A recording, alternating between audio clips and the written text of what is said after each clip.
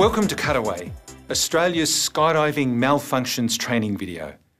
I'm Dr. Glenn Singleman, and I'll be your host today as we talk about malfunctions and emergency procedures. This video is designed for students preparing to take their very first skydive, together with demonstrations from Australian champion skydiver Michael Vaughan, we'll discuss the different types of malfunctions that can occur and how to respond effectively using emergency procedures. We'll also cover minor problems that can occur on opening and how to respond to these. But before we get to malfunctions, let's recap on a stable deployment resulting in a good canopy and how to identify a good canopy that you can land safely because it's most likely that that's what will happen on your first skydive. As you now know, it's important to remember the key words and associated actions your instructor has taught you. Let's run through the key words used during deployment and good canopy identification.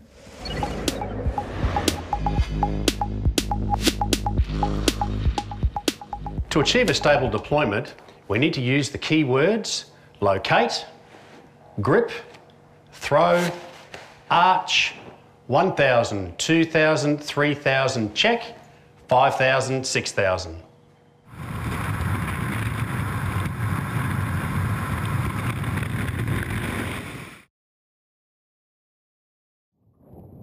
Once the canopy is deployed, we go into our routine canopy inspection using the following keywords size, shape, straight, slider, twist free, toggles, two flares. Size. Check that the canopy is large, undistorted, no rips, tears or broken lines. Shape. That the canopy is rectangular, unrestricted and the end cells are fully open. Straight. By picking a point on the ground, we check that the canopy is flying straight and not turning in any way. Slider. The slider must come all the way down to the top of the risers at the bottom of the lines. Twist free. That the lines are not twisted.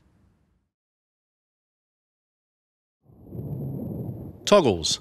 When you've confirmed the previous steps, you should release the toggles located at the rear of the rear risers. Two flares.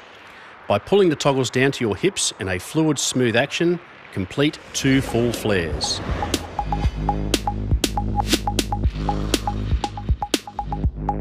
Even with a good arch and a perfectly stable deployment, it is possible for the pilot chute to become trapped in the jumper's burble, causing a delayed deployment of the main parachute. This is called a pilot chute hesitation. This can easily be remedied by turning a shoulder and exposing the pilot chute to the airflow, allowing it to catch air and deploy the main parachute normally. This is generally achieved when you check over your shoulder during your count. As discussed, a stable deployment position aids a clean and proper opening of the main parachute. An unstable deployment can cause deployment complications resulting in main canopy malfunctions requiring emergency procedures. Nevertheless, the highest priority is always to pull at the correct altitude regardless of stability.